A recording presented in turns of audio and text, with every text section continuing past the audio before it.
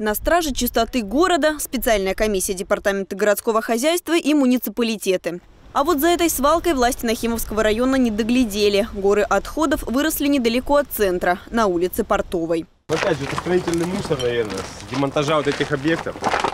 Выехал на место и специалист жилищного контроля и благоустройства Нахимовского района. Осмотрел, получил от начальства распоряжение что здесь собственник есть. Но мы да. должны организовать работу, да, значит, а уже потом подрядная организация, у нас на сегодняшний момент это ООО благоустройство э, города Севастополя, значит, вы должны значит, принять от них акты выполненных работ и, соответственно, предъявить уже э, судебно, в судебном порядке, либо добровольно, если человек согласится это сделать, чтобы он возместил это, эти затраты в бюджет э, города. А затраты немалые. Для физических лиц штрафы от полутора тысяч рублей до пяти. Юридическому обойдется подороже – от 10 до 20. Миру наказания устанавливает суд, но дойти может и до уголовного дела. Если продукт начнет разлагаться, если это ТКО, и попадет э, на рельеф, то мы обратимся все в природнадзор для того, чтобы они взяли пробу. Это уже будет негативное воздействие на окружающую среду.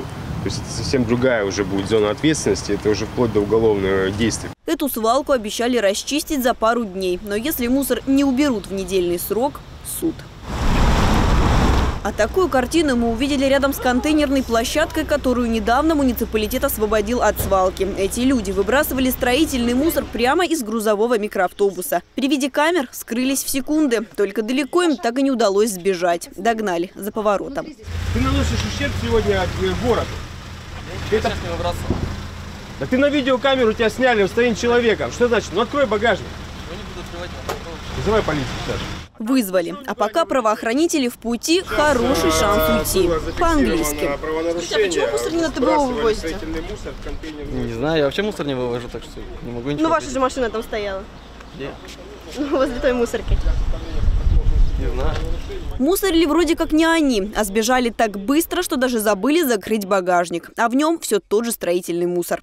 Через полчаса прибыли полицейские, приняли заявление от свидетелей, зафиксировали машину. Установят собственника автомобиля. Через него выйдут на водителя и его товарища, а они понесут наказание. В данном случае водитель покинул свое автотранспортное средство, бросив его в проезде. Ну, будем уже дальше смотреть, как его э, данные зафиксируем, организуем работу и, наверное, будем эвакуировать для того, чтобы потом уже хозяин пришел за автотранспортным средством и будем уже разбираться. Теперь у ситуации два варианта развития. Либо нарушители добровольно возместят ущерб, который они нанесли городу, либо получат административку.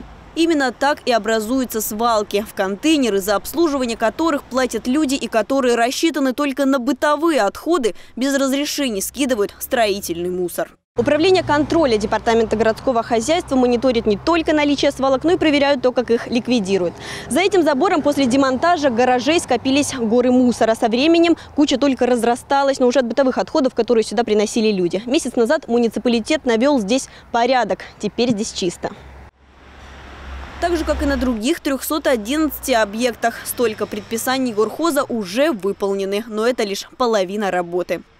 А выбрасывать любой мусор только в отведенные для этого места всех призывает Департамент городского хозяйства, а также Юлия Ефремова и Деливер Меджитов. Информационный канал Севастополя.